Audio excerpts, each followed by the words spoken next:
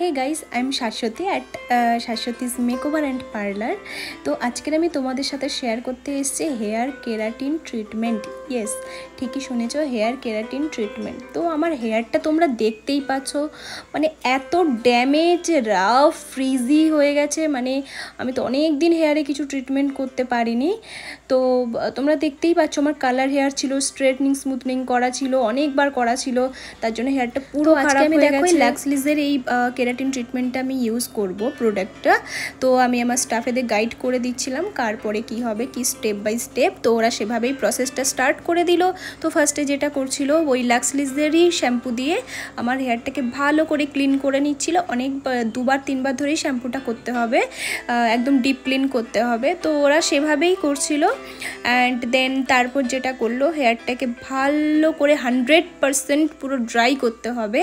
Dry করার পর যেটা করতে হবে হবে সেটা হচ্ছে ব্লো ড্রাইয়ের মাধ্যমে হেয়ারটাকে একটু স্ট্রেট আনতে হবে। জাস্ট ব্লো ড্রাই করে একটু স্ট্রেট করতে হবে। তারপর যেটা করতে হবে লাক্স লিজের যে ক্রিমটা ছিল, সেই ক্রিমটাকে অ্যাপ্লাই করতে হবে। বলে রাখি ক্রিমটা ক্রিমটা না একটু ঝাঁঝালো আছে। মানে পুরো মনে হবে পেঁয়াজ কাটলে যেমন হয়। অ্যাকচুয়ালি এটা প্রোটিন ট্রিটমেন্ট তো। অ্যাকচুয়ালি এটার মধ্যে আই থিঙ্ক পেঁয়াজেরও কিছু থাকে। তো পেঁয়াজের মধ্যে একটু ঝাঁঝও লাগছিল। কিন্তু ট্রিটমেন্টের পরে এত ভালো রেজাল্ট এত ভালো রেজাল্ট জাস্ট যাদের হেয়ার পুরো খারাপ হয়ে গেছে, ঝরে পড়ে যাচ্ছে, আর কালার হেয়ার পুরো ড্যামেজ ফ্রিজি হয়ে গেছে, আমি বলব তোমরা জাস্ট তোমরা জাস্ট এই ট্রিটমেন্টটা কেরাটিন ট্রিটমেন্টটা করো। রিয়েলি রিয়েলি রিয়েলি হেয়ারের কোয়ালিটি খুব ভালো হয়ে যাবে। যারা স্ট্রেট হেয়ার চাও না, তোমরা ভাবছ তোমাদের হেয়ার যেমন আছে তেমনই থাকবে। জাস্ট একটা সাইন আসবে অ্যান্ড মানে হেয়ারটা ভালো হবে। তো তারা অবশ্যই করাও অবশ্যই করাও, আমি করেছি। তো দেখো আমি হেয়ারটাকে এভাবে ফোল্ড করে রেখে দিয়েছিলাম প্রায় forty two forty five minutes and তারপর ক্রিম সহ হেয়ারটাকে ড্রাই করে ওরা একবার আয়রন টানবে। তো আয়রন টানার পরে হেয়ারটাকে ফর্টি মানে হ্যাঁ আটচল্লিশ ঘণ্টা মতো রাখতে হবে।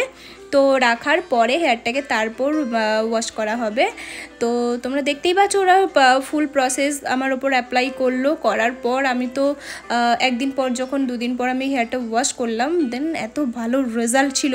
তো তোমরা যারা যারা করতে চাও, অবশ্যই আমার স্যালনে তোমরা বুকিং করতে পারো। তো আজকের ভিডিও এই পর্যন্ত। তো তোমরা ফাইনাল রেজাল্টটা জাস্ট দেখাও দেখো আমার হেয়ারটা কত ভালো রেজাল্ট এসছে, কত ড্যামেজ ছিল অ্যান্ড দেখো তোমরা নিজেই দেখতে পাচ্ছ, এটা অবশ্য ওয়াশের আগেই দেখাচ্ছি ওয়াশের পরে আরও ভালো হয়ে গেছিল। তো আজকে ভিডিও এই পর্যন্ত, টাটা, তোমাদের সাথে দেখা হবে নেক্সট ভিডিওতে বাই আর আজকে জানো আমার হেয়ারটা কেমন হয়েছে? বাই